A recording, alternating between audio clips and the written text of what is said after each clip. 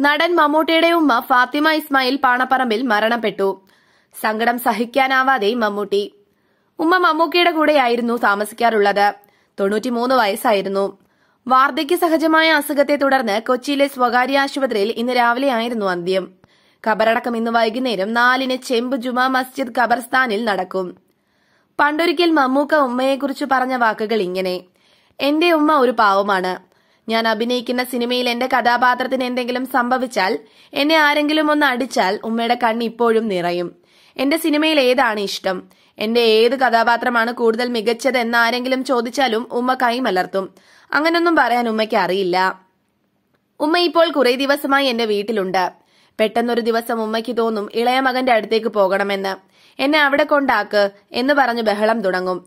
ഒരാഴ്ച അവിടെ താമസിച്ചു കഴിഞ്ഞ് അടുത്ത മകന്റെ വീട്ടിലേക്ക് പോകും. എല്ലാ വീടുകളിലുമായി പറന്ന് നടന്ന് എല്ലായിടത്തും തന്റെ കണ്ണെത്തുന്നുണ്ട് എന്ന് ഓർമ്മിപ്പിക്കുകയാണ് ഉമ്മ.